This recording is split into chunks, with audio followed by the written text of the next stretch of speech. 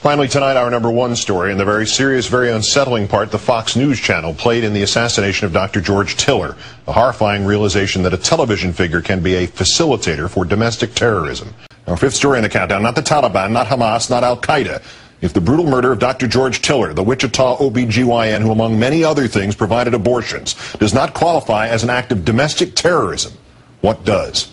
Dr. Tiller having been gunned down in the vestibule of his church where he had been serving as an usher his medical practice having been targeted many times before. In 1986, a bomb exploding on the roof of his clinic, he reopened. In 1993, Dr. Tiller shot in both arms by an anti-abortion activist. He returned to work. Abortion in this country legal for the past 36 years.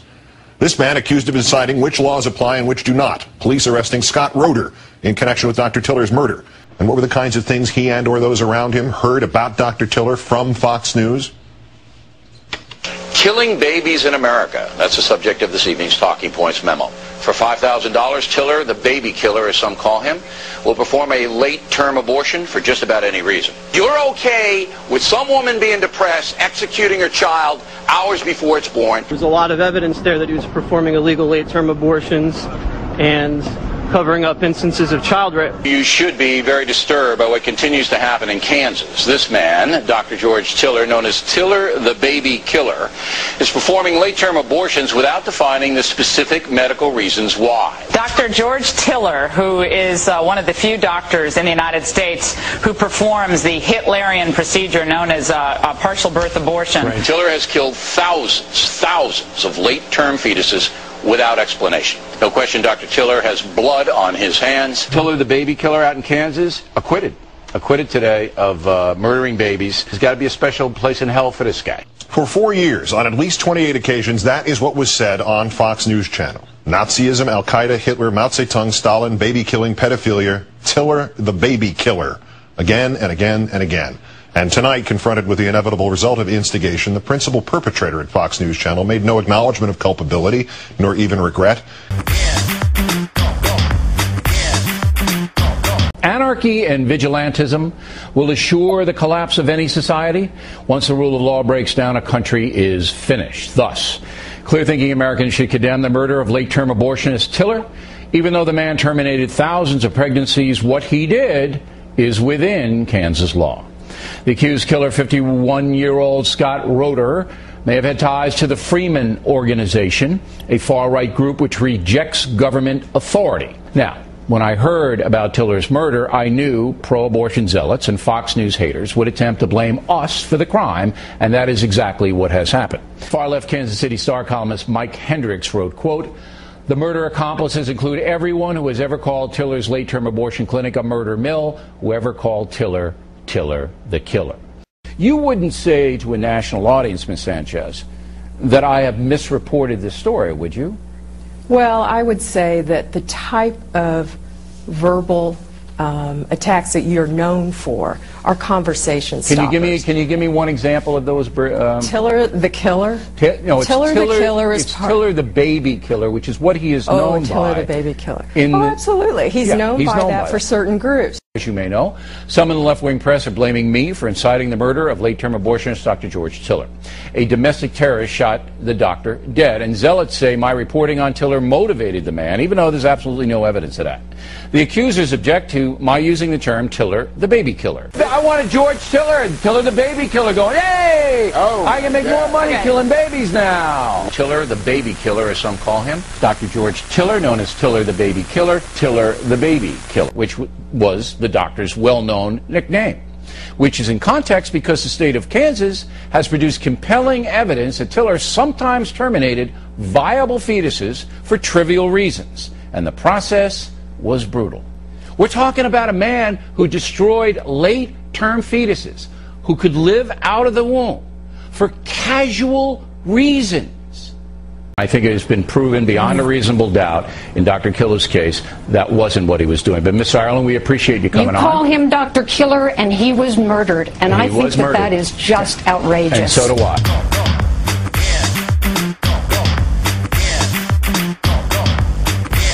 And if I could get my hands on Tiller, well, you know, can't be vigilantes.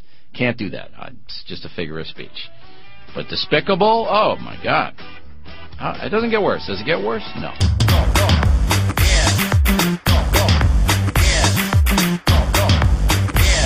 You're wrong, first of all, and you're and to attack me and call me vile and the other names that you've called me on your website is unconscionable. But let me let me stick to this Really? Tiller thing.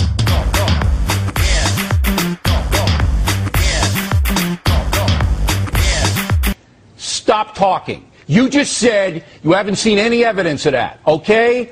Here's a tape from Dr. Paul McHugh, head of the psychiatric school at Johns Hopkins University, madam. Roll it.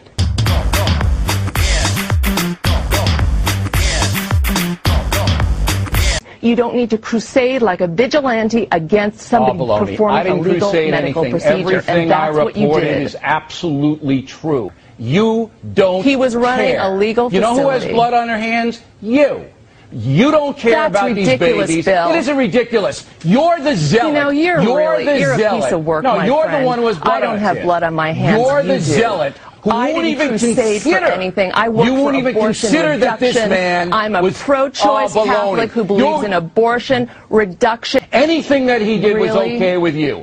Anything that Tiller It was did legal, was Bill. okay with you because of your It was far legal, left Bill. lunacy. You think he's a hero? I, you know what I do? I know. There I you do go. consider him a Thank hero. you. And look, Thank Bill, you. crusaded against him. You, You bet. crusaded against him. He had been shot twice And I'm already. sorry about His that. clinic And if I could get my hands on Tiller, well, you know, can't be vigilantes. Can't do that. I, You are misguided. You have blood on your hands because you portray this man as a hero. Routinely attack people on the left. Janeane Garofalo, Michael Moore, who you think their rhetoric leads to, potentially to violence. It never has led to one act of violence, but you've already driven that crazy guy uh, in in Knoxville last year who read your writings and then went and shot up a church and shot liberals. That's already happened once, and you don't feel any responsibility at all now that it's happened a second time, Bill. Talk Mr. about Walsh, blood I- on your hands. I appreciate you coming on a program. I think everybody knows exactly where I- you're coming from.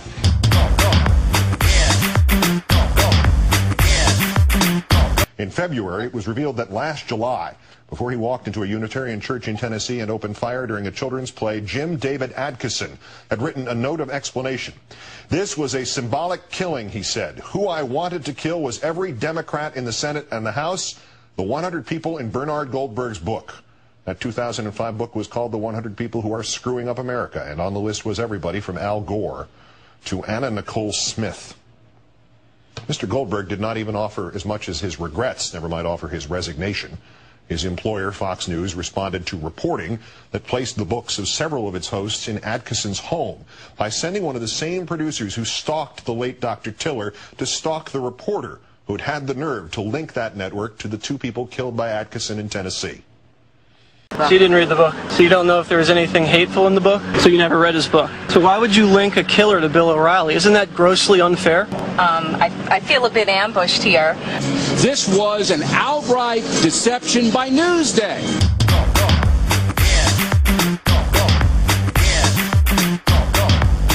You know how much it pains me to tell you this, Bill, but you have been magnificent on George Tiller to begin with, and magnificent on on his murder. Um, Well, thank you. And I know I noticed there haven't been a lot of people talking about it. I'd, I'd like to think it's because they're hungover from the Hooray George Tiller's Dead party, but I think that's not it. This one random nut who shot Tiller, I don't really like to think of it as a murder. It was terminating No, Tiller he was a in the 203rd trimester. But you can't you can't diminish what that killer did, or you have anarchy. I am personally opposed to shooting abortionists, but I don't want to impose mo- my moral values on others. Okay. Things suck. There's no words there. There's no, there's no words on it. Fuck it. We'll do it live. Fuck it. I've never seen that. Fucking things suck. There's no words there. I don't know